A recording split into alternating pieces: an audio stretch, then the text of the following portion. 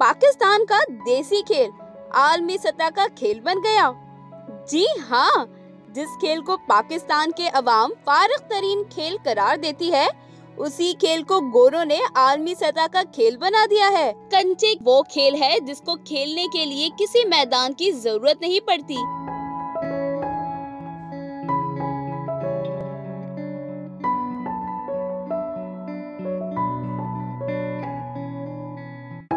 इस खेल को गली मोहल्ले में ही खेला जाता है।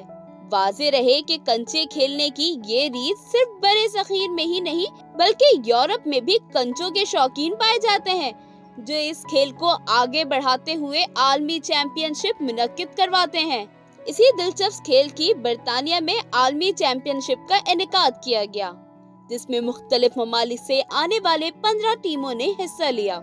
इस मुकाबले में जर्मनी की टीम फाते करार पाई जिसे सिल्वर ट्रॉफी भी एजाज के तौर पर दी गई।